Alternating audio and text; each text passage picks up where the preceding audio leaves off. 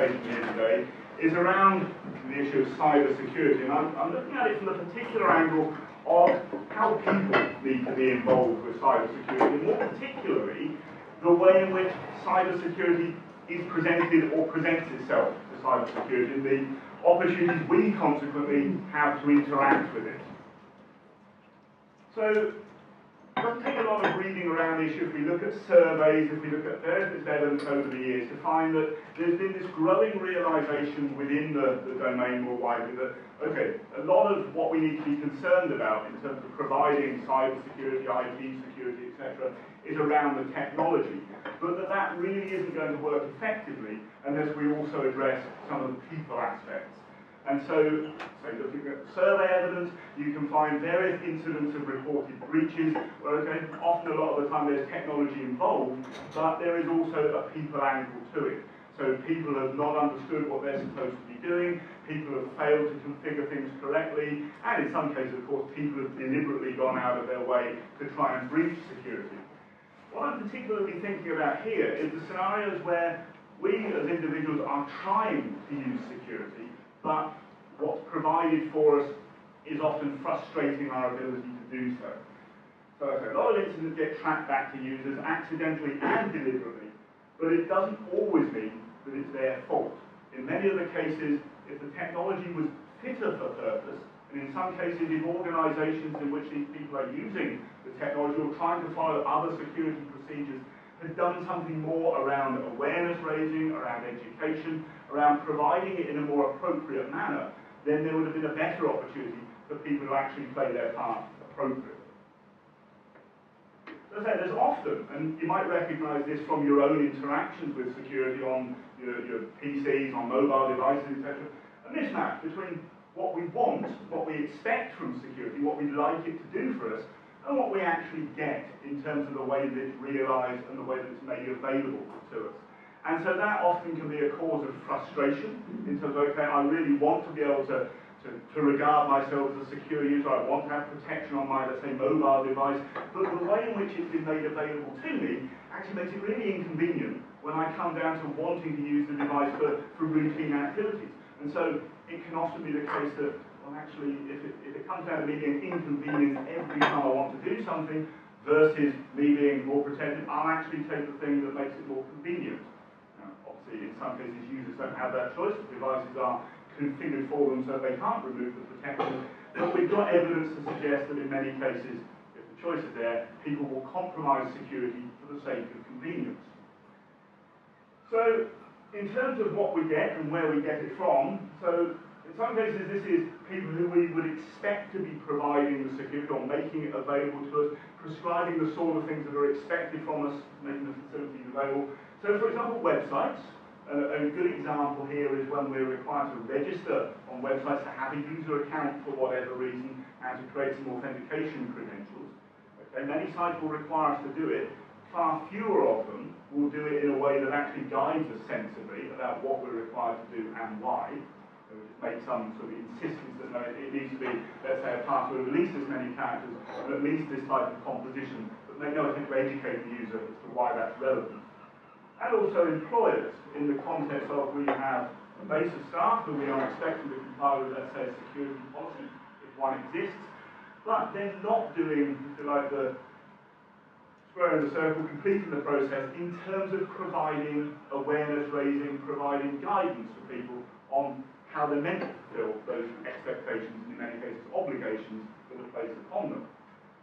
And also, as I say, from the technologies themselves that often are used as the enabling mechanisms to be secure, but in some cases you look at how the technology is presented by the way it's been designed and developed and implemented on a system and what then confronts users on a regular basis, and there's often some gap between how it would be nice for it to work and how it actually does. So this can very much end up affecting how security gets perceived by the user community. So I'm very much thinking around the, the end users who often can feel the beneficiaries or the victims of security, depending upon the perception that they're taking at the time. And their perception will often depend upon whether they're actively wanting something from security at that point. So expecting it to be there as their safety net to protect them, or whether their priority at that point is, is to be doing something else. So we can end up with different perceptions from people as a result, and their views of the same individual can sometimes change depending on the context. So one possible protect, uh, perception is security is our friend, and that ideally, of course, from a security professional's perspective, is how we'd like it to be. It always ought to be perceived as our friend because it's there for good reasons. So it's a guardian angel. It's something that is sitting there making sure that the user is protected in whatever context they're trying to operate. It blocks threats. It safeguards our data. It, it's actively safeguarding the system and the things that we value against whatever inadvertent and undesirable consequence could otherwise occur. It provides reassurance to us as users because we know, okay, security is there, we've got a level of protection, so I'm therefore feeling better about doing, let's say, online shopping, about doing my general activities where I'm browsing the internet, the web. Um, I feel I can do that quite freely because I've got internet security safeguards sitting in the background. And as a consequence, it's enabling the activities that we're actually wanting to do. Very few people, I would argue, are trying to use the technology just to experience its security features. They're trying to do something else. Now, that's desirable. It's our friend. But in many contexts, people will perceive it to be, well, maybe saying our enemy is, is taking it a little bit too strongly, but in many cases, it's a nuisance, it's a barrier, it's an impediment to what we're trying to do, because fundamentally it can get in the way. If you're trying to get a productive task done, then having to have some sort of enforced security interaction between you and the thing that you're wanting to do is not the most welcome context. It makes things take longer. So you've got checks and balances you need to follow, procedures you need to go through, and again, that wasn't the ultimate goal that you were trying to achieve. You've got a particular productive task, something that you want to do as, a, as an individual for leisure purposes, and nonetheless security is there requiring extra attention from you. It says no. It can actively prevent us from doing the very thing that we're trying to do. So you get a warning, for example, in a web browser, and it's presented in such a way that it makes you afraid to complete the action that you were in the process of doing. So, well, okay, maybe I actually better stop doing that, and I did want to do it, but I'm now too concerned, and security is preventing me from fulfilling the thing I wanted. And it consequently makes us worry. We get these warnings coming up, and I'll have some examples as we go. Things appear, but sometimes we might not understand what they mean. It uses, for many users, terminology which is too technical, could be completely alien. Seems to make sense to the security software that it is telling us something and it's asking us sometimes to make a decision. Do we want to do this, that, or the other?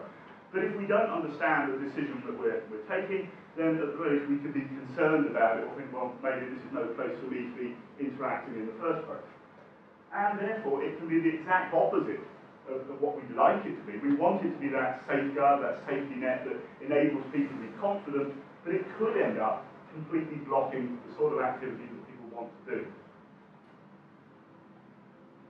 So in terms of how I would argue it ought to be approached, particularly if we think about it from an organisational perspective, in terms of providing the foundations for our staff to be able to operate with confidence and in terms of compliance with what the organisation wants, that's one of the fundamentals is for an organisation to establish some sort of policy around security. So what are the expectations? What are the boundaries within which somebody is supposed to be operating? So in an organisational context, that, that can be a fundamental foundation there. On top of that, and this you can also think about in the wider context of end users operating on the internet, etc., there needs to be a level of awareness. So, for example, what are the threats that we might be exposed to? What are the, the relevant controls, safeguards, countermeasures that we should be using to protect against them? And are we, in terms of our systems, actually running those safeguards? So various types of awareness that could be relevant. And on top of that, particularly given that we're dealing with, in many cases, technical controls, but this can also apply to procedures that we expect users to be following, there needs to be a level of usability. And that can encompass issues of understandability, of tolerability, of the overhead that things impose. But things need to be viable, they need to be workable if we're going to expect people to use them. And to varying degrees, these things tend to be addressed. So if we look firstly at the issue of policy, and what I've got here are some results from the last few years' work of the UK's Information Security Breaches Survey, which has been, well, for that period of time, I think consistently conducted by PricewaterhouseCoopers, currently this year's one published by, under the, banner of BIS, the Department of Business Innovation and Skills. It has been up until 2012, it was a biennial survey, now it's going to be released annually, so we've got a sort of annual tracking there. And what we can see here, this is the usage of security policies within different sizes of organisations. So the, the lighter blue, and the one denoted with the, the L there, that's large organisations, and the S and the darker blue is small organisations. What we can see over time, it seems that there's been significant adoption of security policies and use within large organisations. So now, according to the current survey, 99% of large UK respondent organisations claim they have a security policy. The situation for smaller organisations seems somewhat less positive. In fact, the, trend is downwards over the last few iterations of the survey, and there's a tangible gap in terms of the proportion of organisations that say they have one. Now, does this mean that staff within smaller organisations have no security issues to worry about, or fewer, or half uh, of the security issues to worry about? No, of course not. They use very much many of the similar systems, similar data, just on a different scale. But they can still be the recipients of attacks, they can still be the targets of incidents, and they can still certainly have many styles of security breach that can occur. But in those contexts, staff, right from the outset, are perhaps less well served in terms of having security foundations being laid for them. Looking again at the same survey series, looking at what the same respondents were talking about in terms of their awareness raising efforts, one notable thing was that additional provision of staff training was the most common response that the organisation reported doing once a breach had occurred, once an incident had occurred. So quite clearly, there was perceived, once something bad had happened, it was down to a lack of staff training that they perceived that it had been able to occur. So this was a, a response to try and rectify the situation for the future. So first uh, potential question there is, if more attention had been paid to user awareness in the first instance, could a breach or an incident have been avoided? If we look particularly, I'll just use the example of mobile device security, so I'll pick up the theme later. Looking at that thing, 66% of the organisations have got some sort of policy that they issued on mobile computing, but only 23% had done anything or reported doing anything to train their staff in relation to the threats that they might face on those devices. So many of them actually still don't have a policy, and very few of them have done anything actively to make staff aware that, okay, you've got a mobile device now, these are the sorts of things you might need to be concerned about in terms of protecting it, or the attacks that you might face electronically through it. One thing that was also notable in terms of where efforts had been made to raise awareness, did they make a difference? Well, let's just think about the security policy in the case where they had them. Where they had a security policy that was um, poorly understood, 93% of companies with poorly understood policies had had breaches, as opposed to only 47% of them having breaches where they felt the policy was well understood. So where they've made the efforts to promote the policy, their, their level of breaches actually decreased. Okay, so it's not reduce it to zero, of course you can't expect to do that, but there's a tangible reported level of reduction. So if we think now, okay, that's the organisational context, policy, awareness and efforts that ought to be made. Let's now think more generally about the end user experience. And this could be within the workplace, this could be in their private lives, their domestic or personal use of technology, the sorts of scenarios in which people are likely to encounter security. And just one example context, some examples from Windows 8, okay, the latest version of the Windows operating system. So here we have the various security related options from the, the control panel. So we've got things like network firewall, Windows update, virus protection, spyware protection, etc., etc. There are things that, ideally, I guess you want to configure to have enabled to protect you. And in many cases, the defaults are fine, and users, as long as they don't fiddle with them, um, will be protected. But this is software facing everyday users. How many users are going to be fully familiar with what all this is talking about in the first place? Okay, the, the level of help and support that's there if you go looking for it, to actually understand some of the terminology, is not as readily available as the things that you're meant to be configuring. And then if you look under the surface for a lot of these, okay, you've got things like Windows Smart Screen, which provides the phishing filter. So there's options that you might want to con uh, configure within your browser relating to that and what the system is supposed to do in the event that it, you visit a site that could be suspected of being a, a exception site, a phishing site. We've got user account control, which limits what programs can do without your specific permission if they're trying to make changes within the system. So um, executing content, exercising additional privileges, etc. And you might, if you're a Windows user, recognize a scenario where some the, the screen dims and then you have a, a dialog come up saying such and such a program wants to do such and such a thing, are you willing to allow it to do so? And you have to make a security-related decision in that context. Again, many users won't feel suitably equipped to know what they're actually answering, and other users who aren't suitably equipped to answer the question might still be quite irritated that this is now interrupting their normal activity.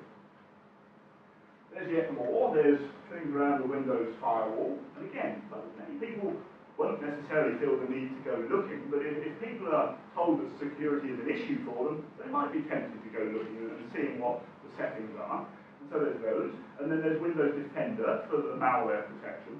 So just within, if you like, the standard desktop operating system, which millions of people use, there's quite a lot of security there that is configurable, could end up being configured incorrectly, and could end up consequently compromising the protection of the millions of people it's meant to be protecting. and if we think of another context of just picking on iOS mobile devices, here just a selection, and this is uh, taken from my own um, iOS device. If you look at the privacy controls, um, so just a subset again of some of the available functionality, you've got various things on which your privacy could potentially be affected by what your device is divulging outside or allowing other apps to gain access to on your device. So various things that you consider, location services, your contact list, your calendar, your reminders, your photos, Bluetooth, your microphone, etc. And then on each of these, there's some level of further configuration, so you can make a decision as to whether here, for example, you want to allow Twitter to access your photos. Okay, what are the implications of that? In terms of the implications, there's very little information here to guide you on whether you want to have that enabled or not. And so this is something where, again, the user, by default, might not feel particularly well equipped to make decision, or at least not an informed one. Okay? And this is, this is, again, just the sort of device that everybody could be carrying around these days in their pocket. Quite a number of routes by which, if you've not got it set up properly, your personal content could find its way shared between apps, out into the cloud, and between devices. So one of the things we've done recently here at Plymouth University is to conduct, or we've begun to conduct, a survey of end users, looking at their claimed, claimed, I should say, security practices. So we've not verified whether people are telling us the truth, but this is at least what people believe they're doing. And so thus far we've got data from September and October of this year, but it is an ongoing activity. And we've looked at several practices which we consider to be baseline things that, that everyday end users now are likely to be encountering. Uh, so what I'm going to present to you on the next few slides with pie charts is based on 290 respondents that we've analysed to date. So one of the things we thought was relevant to ask about is their practices in terms of installing updates and patches on their system. So again, you probably recognise from your own experiences that many of your devices, and more particularly your software, will invite you to install updates, and many of those claim to be critical security updates. And this could be Windows, could be Mac OS, could be your mobile devices. And uh, what do people do in response to those solicitations from the software? Well, we found that only 25% of the people we surveyed thus far do the thing that I guess is the right answer from a certain point of view, which is to immediately install the patch. And the reason that it's useful to do that, particularly if it's a security-related update, is that unpatched systems are a great source of exploitation. So malware, hackers, a lot of this is going after systems that, could have been rectified but haven't been, a vulnerability remains apparent. Now, there are obviously some counter-arguments for why you might not want to immediately jump in and install an update, because sometimes the updates themselves can introduce incompatibilities and, and more problems than you expected. Um, but nonetheless, relatively few people doing, in a sense, the right thing. Some people generally ignoring them. Okay, these people are making a value judgment on whether it's been termed a critical update, and these people perhaps are leaving themselves vulnerable for a, an inappropriate period of time. Different type of security, one that even more people will be familiar with, is the thing about user authentication. We have to do this multiple times a day, I would suggest, on various types of devices and systems. So one of the things that we asked our respondents was how many password protected devices, services do you have? So not how many different passwords, but how many different password protected things. And perhaps unsurprisingly, over a third of them are reporting they've got 16 or more things that require some sort of password-based uh, authentication. And relatively few have got a small number. Okay? Now this, I think, is, is likely to be common. So just as a, a show of hands in the room, how many people would fall into the category of 16 plus? Okay, so that's most people. Okay, so this, this is not, in fact, this pattern is very typical because these people have, the, the proportion of people here is much less than the proportion in the room. Okay, so what do people do with their passwords? We all have them. Um, how many people follow, again, what the textbook practice might be of having a different password on every system? So, okay, let's do a show of hands in the room for that. A couple of people equally showing their hands, and most people resolutely keeping them down. Um, how many people have uh, the same password on every possibly shouldn't, but this isn't a social engineering exercise. Um, you are on film. Uh, and how many people choose from a set? Okay, so the, okay, the majority in the room is the same as the majority in our survey. And that, the reason for that, is because it makes it more manageable for people. Okay, we sort of get told that you, you should have different passwords, but it's different, difficult to have a different one on every system that we're using in terms of memorability and manageability of it. Unless, of course, we do something else that we're told not to do, which is write them down. Um, now, there are ways around. Of course, you could write down reminders, you could write down encoded versions of a password that would be meaningful to you, but not to somebody else if they were to discover it. But that very often is too much effort for, for lay users or too much thinking for them to go through. And they write down the standard or just go easy and have the same on everything. So the passwords have been with us for some time. So how has the technology actually advanced for us? Well, one advancement perhaps, is this sort of thing, where the system offers now to remember your password. So you don't have that requirement to enter it every time, and you don't have to worry about remembering yourself. So as I say, they're automating the chance to actually forget what the password is. Um, and also automating the potential for the system to be vulnerable now. If somebody else comes along and your system, for example, remains logged in, somebody can now come to the web browser concern and go to some of your sensitive sites and services without having to log in themselves. The other, I suppose, bit of progress that we've seen in more recent years is many systems on the web and on uh, operating systems themselves will give you some rating about the, the, security level of your password. How good is it? Okay, so password strength meter like this one, which I think in this case was from Google. Um, so this is automating, arguably, the guidance that makes them harder to remember. Because if you're going to score good or excellent in terms of the password here, then you're having to have something that's long, multiple character types, etc., which then puts you in that realm of a password that's tricky to keep in mind. these things have their place, but the underlying technique of password isn't that friendly. Again, from our survey, asking people about their password practices, how, how well do they claim that they, they choose them and use them, we asked them in this particular question to consider their most important account or device, the most important thing on which they have a password. So was that password at least eight characters long? And most people it was, but tangible was no, if it wasn't. And that, that's not to say eight characters is, is a utopian situation here. That's just probably the best case you would find in terms of websites asking you to choose a password. You won't find many websites like Google, Amazon, eBay, etc. that would ask you for anything more than eight as the baseline minimum. So we, use that here as the baseline. Does it have alphabetic and numeric characters? Most people do. And does it have other characters, punctuation symbols, for example, to further enrich the character space against a potential brute force attack? Yeah, fewer people there, because of course it's a little bit more difficult to remember the punctuation symbols if you throw them in there. And in some cases, of course, the password systems are a bit picky over whether they'll let you use certain punctuation symbols, so the implementation sometimes doesn't make it better. You, did you use a word you'd find in the dictionary? So most people not, but, but still a tangible proportion that do. So those are immediately vulnerable to automated password auditing or cracking tools, depending on how we view them. Is it based on personal information? Again, a minority sport there, but still more people than we would hope uh, these days, given that all of this is sort of the standard advice about what to do and what not to do.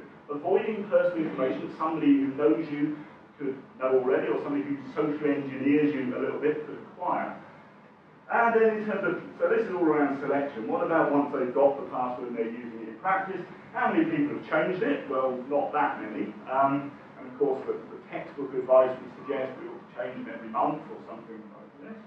Um, how many people change it at all regularly? Not many. Um, how many people have shared it with others? Well, this seems to be the best understood of advice. People generally within our respondent group did understand that the password is meant to be a secret okay, and not shared with other people.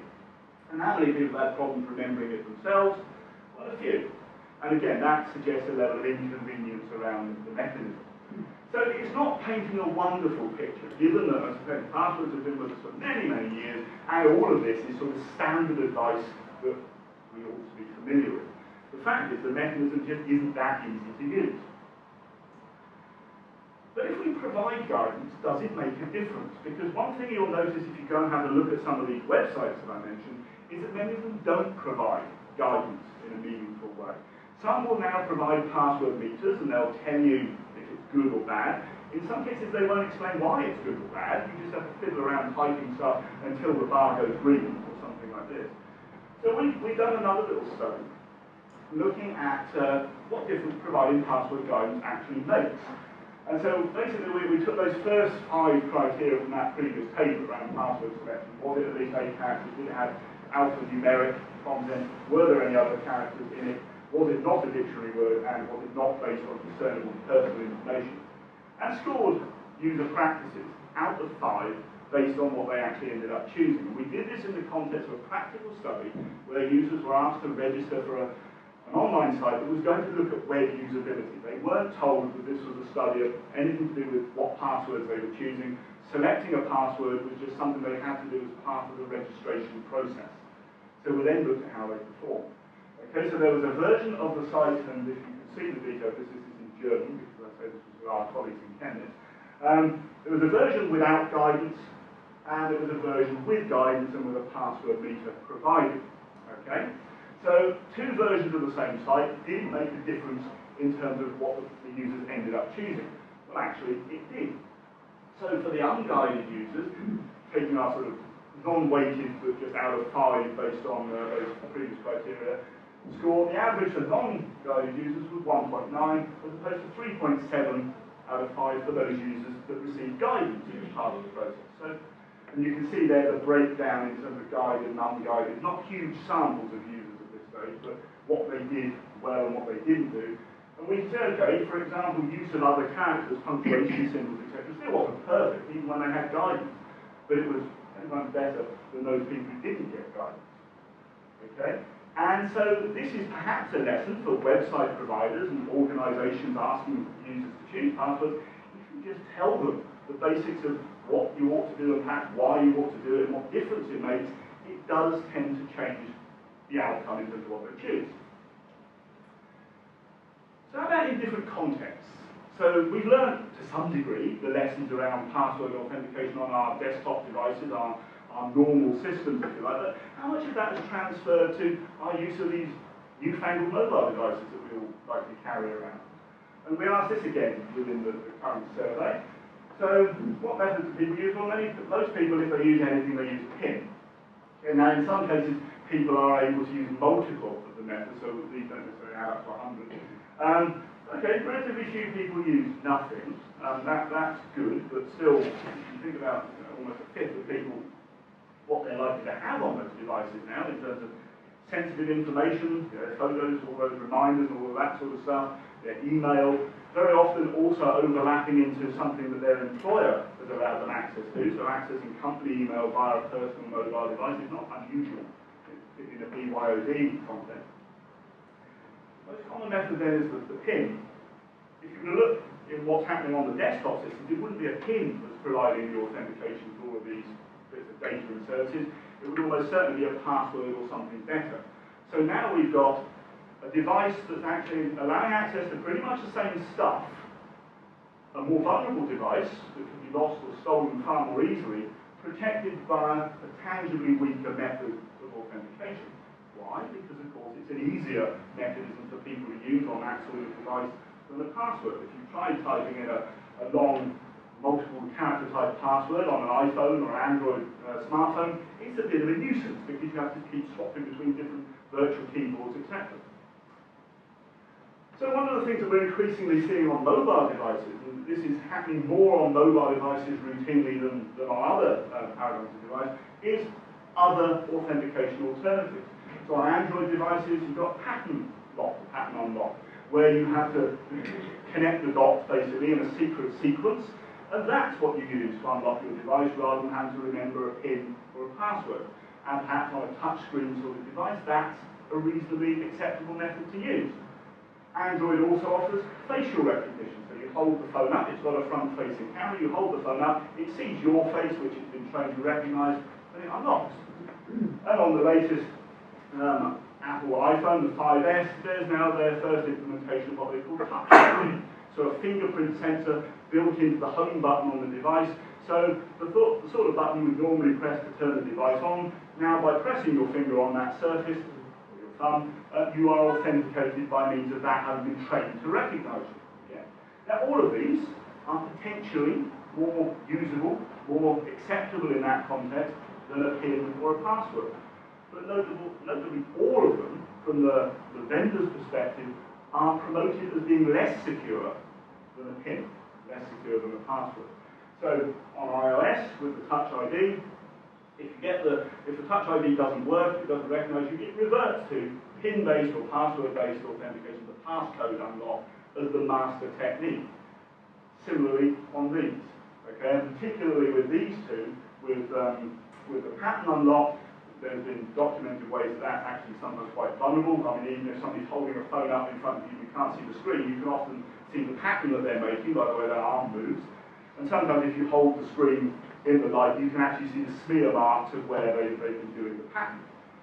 Facial unlock, the, first release here was shown to be vulnerable to just holding up a photo of the legitimate user, so the phone would unlock the static picture. More recently, um, in Android Jelly Bean and onwards, liveness detection has been introduced, so you have to blink to, to show that you're actually the person live there. But that has also been shown to be able to be fooled by having a picture of the legitimate user with eye holes cut and you blink behind that. or indeed having an animated image where you've got a picture with eyes open and then you, you mask it out and made a, made a picture with eyes closed and then you alternate between them. Touch ID, okay, Chaos Computer Club in Germany within a couple of days of the iPhone 5S coming out showed that it was breakable, but breakable with a damn sight more effort, I would argue, than you could actually observe somebody entering their PIN. Okay, so this one I think sets the bar a bit higher and is a more reliable technology than, than those two, but still, Apple isn't promoting it as a higher level of security, it's promoting it as a means of Okay, another, another aspect here. In terms of the decisions that people have to make, I'm sticking with passwords just for this one again. Do people appreciate the decisions that they're being asked to make? So here we have another of those things about saving your password. This time, on the latest version of um, iOS 10, um, Mavericks, you can save your password to your iCloud keychain, which means it's automatically shared between all of your iCloud-enabled devices. So you can save it on your Mac, your iPad, your iPhone in that particular case, will all have that password accessible to you. It makes it very convenient for the user, but to what degree is that now making security weaker if, for example, your Mac might be protected with a, nice password on it, but your iPhone is going around unprotected, and now somebody could visit that, the same site and find completely unimpeded access through that device. And there is no guidance, there's no, no help to say what's the implications of saying that, that, or that. And so many people but not now, because it, it defers a decision and they're not really guided in the implications of making. And that's the same for many other types of security dialogue you can come across. Okay, you're being asked to make a decision, you don't really know what the implications of each option are. So this links into the point of needing to strike the balance. You need to be able to explain for those who don't understand without getting too much in the way for those who actually appreciate the implications already and don't need to be told every time. Okay, so one size doesn't fit all. You don't want to overwhelm the user with too much information or too much help, etc. But they should have control in scenarios where they want it. So if they want support, they should be able to get it. If they need to be able to do something, they should be able to do that. So when we then look at examples of this, so it's a little bit easy to find yourself, well I find myself feeling a little bit like Goldilocks. Well no, that one's too, too, too busy, that one's too one's too hot, one's too cold, one's too hard, one's too soft, etc. So examples, two views of a similar or the same type of antivirus product, this one on a Mac. Um, Intego's VirusBarrier, well okay, this interface has got quite a lot on it, but is it too much? Okay, you've got this big thing that's telling you how much it's scanned, perhaps that's the key information, you've got little dials over here, little counter there, little graph there, all these other options, green lights, red lights, etc how much does the user actually need to know in terms of their systems being scanned and whether anything has been found. Okay, so this interface is mixing together the actual scanning and the real-time monitoring, etc., etc. For some users, it's perfectly fine. They, they like it. it it's, it's good. But for the, the lay user uh, who doesn't know anything about what's going on, maybe that's too much. Alternative version in their Internet Security 2013 product, taken all that away. Now, do a scan and it will just tell you the percentage completion. Now, you've got no dashboard information for the general real-time monitoring. You can't tell the degree of network traffic coming in that. You've not got that richness of information. So for the more technically aware user who wanted that and valued that other information, now it's all gone. So neither of the scenarios are perfect for all comers. And this, I think, is the problem we face with quite a lot of the ways that security is implemented. And what we ideally like is to have the option to choose how much of it gets exposed based upon what we understand and how we might progress in our understanding over time. Another thing is how well are our lessons being learned? Okay, so we've learned certain things in some contexts. I, I mentioned about authentication with passwords. We can do some of this on desktop devices but not mobiles. But what about our depth of understanding, the way we use it, and whether we transfer the knowledge to different contexts? Look again, keeping with that theme of antivirus software, we just saw two interface examples. In our survey, 95% of people say they have antivirus on their laptop, on their desktop, their traditional computing device. Only 14% of it, of them rather, have it on their phone, on their smartphone. In many cases, because they just don't appreciate that there's any threat to be concerned about in that scenario. I'll come back to that. Um, are they using the latest signature updates? Signatures being the things that enable the antivirus product to give them one route to seeing whether the system is infected with the latest malware by matching the bytecode that's in memory with a bit of bytecode of known malware strain. Two-thirds of people say yes, they are using those signatures. Now that might be optimistic thinking in actual fact. Our earlier studies have shown that in many cases where people think they are, they're actually not if you go and look at their system. But let's take it chatly. Two-thirds think they are. What about the rest? 3% actually say no. Um, 10% don't know what signatures are. Okay, so the fact that their antivirus product is telling them probably somewhere along the line that their signatures are out of date or their signatures need updating, they don't know what that, the significance of that is. And almost a quarter don't know whether their signatures are up to date. So probably some of them are, probably some of them aren't. But this proportion of people we need to be a little bit worried about in terms of their basic understanding of what that protection is doing for them and how it ought to be working. Going back to our mobile users, we specifically then honed in on Android users amongst the results. The reason being that Android devices are now significantly vulnerable to malware. There has been a tangible increase over the last couple of years in the number of malware strains appearing on Android into the thousands per month on average, so I think around 6,000 per month was the average for last year, to Kaspersky Lab. That pales into insignificance compared to Windows malware still, but it's, it's a lot more than there was in the past. And 98% of malware, maybe 99% of malware from mobile devices targets the Android platform. So if you're an Android user, really, having an antivirus product running on your device might now be a good idea. But amongst other respondents, only 25% of the Android respondents had it. Many of them were likely to be unaware that they needed it. So, final thought. So I think, particularly the designers and implementers of security, but also also employers expecting staff to use particular technologies, need to remember that it has to be used and understood by somebody. And in many cases, what we're fundamentally asking is people to do something that they don't want to do. This isn't why they're trying to use the technology. Security behaviour doesn't come naturally in many cases. It won't be something that people have actively gone looking for, at least not in all of the contexts they probably ought to. So we need to promote it, we need to raise awareness, we need to do something actively to get it on their agenda. And also technology can undermine its own efforts. The way it's presented, the way it's implemented, often means that although it's there, it doesn't get used anywhere near as effectively or widely as it should be. But of course, technology alone doesn't save the day. People need to be supported. Again, there's various ways we can do it. We need to ensure that they're aware of the threats and that they have the safeguards available to them to deal with the threats and that they know how to use those safeguards. So there's educate awareness, training, education at various levels that if people don't already have it, they ought to be supported. If we think about it from the employer perspective, that actually is making a contribution then to, to safeguarding our environment too. But of course, it doesn't come for free.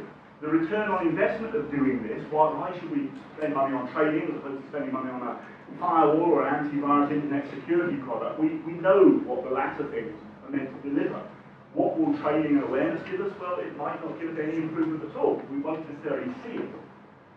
But actually, if we look at surveys where it hasn't occurred, where it was occurring retrospectively, so the, the response to an incident being to train staff, something's already gone wrong. There's already been an adverse impact, and we're only seeing it after the horse has bolted. Other than that, there's my contact details. Feel free to email me, follow me, and I'll also have a look at our research centre website to see more about what we do here at the University.